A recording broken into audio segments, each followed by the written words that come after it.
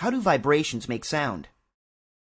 Sound is uh, caused by a vibration. Now, some of you might be saying, what's a vibration? Well, vibration is just something that goes back and forth, back and forth. Now, if the object vibrates fast enough, it's going to disturb the air. And if the air vibrates, our ears are sensitive, sensitive enough that we can pick that up. Now, to show you what a vibration actually does, um, we have a tuning fork. And this tuning fork will vibrate at 426 times every second. So when I hit this, these two ends will vibrate. Now it's vibrating in the air, and we can't see what the air is doing to us. Um, but our ears can pick it up. So let me just hit this and listen. Now, when it's vibrating, you might be able to see these ends being a little blurry, but you're not going to see what's really happening to the air. But when I take this and touch this to the water, now water is a lot thicker than air, so we're going to see what effect this actually has on water compared to the air.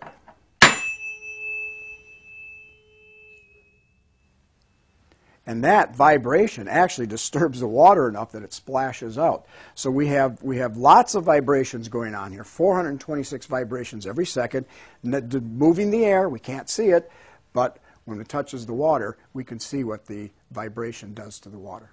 Many, many things cause vibrations. Um, one of the things that's kind of interesting is, is uh, this cup.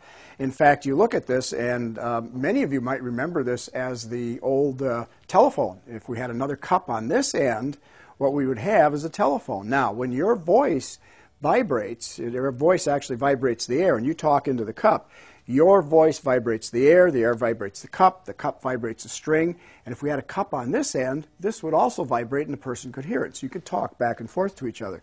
Now, I also want to show you this. This is just a cup with a string in it, and you look at it and you say, well, this is just a cup with a string, but it actually was invented.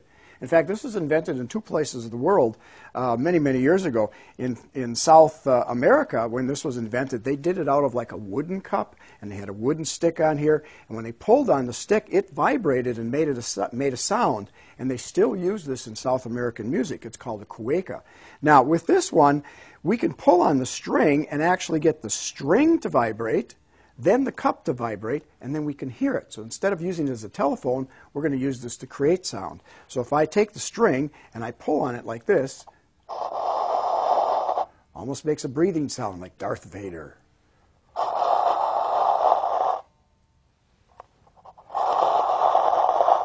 Now we can change how this vibrates because my hand is sliding pretty smoothly on the string. And we can change how this vibrates by using a wet sponge or just getting the string wet.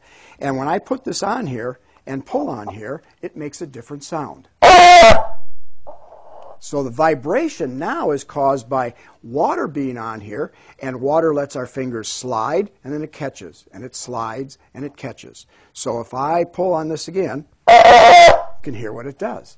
Now, we could make cups vibrate differently. This cup has a special string on the bottom. In fact, it's not even a string, it's a ribbon of plastic. On the ribbon of plastic is actually a lady's voice recorded. And um, there's little bumps on this plastic. In fact, I can see the, the, the bumps in this area. And what this plastic ribbon will say is science is fun. So listen. Did you hear that? Science is fun. Isn't that cool? So I'm vibrating this by pulling my thumb down. It's going over the bumps and actually reproducing that lady's voice. It works like a record.